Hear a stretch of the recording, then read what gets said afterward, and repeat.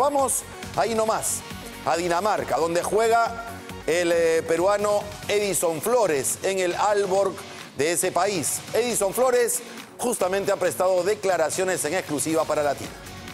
Los partidos que le ganamos a Bolivia y Ecuador.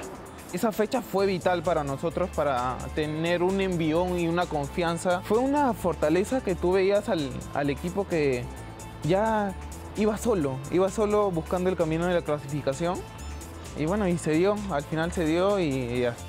Como vital para la clasificación, así describió Edison Flores a la penúltima fecha de las eliminatorias. El Oreja fue protagonista de esa jornada doble donde él considera anotó su gol más importante.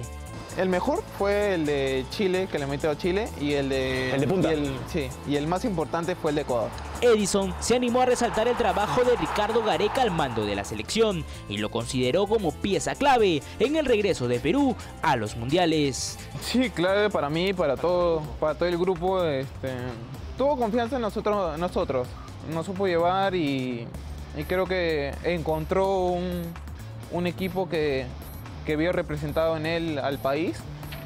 Y creo que él, él fue llevándole y, y los resultados se dieron porque estuvimos, estuvimos bien compactos, bien unidos. Flores no se cree fijo en la convocatoria para el Mundial y sabe que tiene que trabajar al máximo para defender la blanquirroja en Rusia. Es otro gran paso en mi carrera, es un paso enorme en mi carrera jugar mis primeras eliminatorias y estar en un mundial. Sí, eh, igual para eso tengo que yo trabajar, ser este año que viene, el 2018, tiene que ser mejor para mí.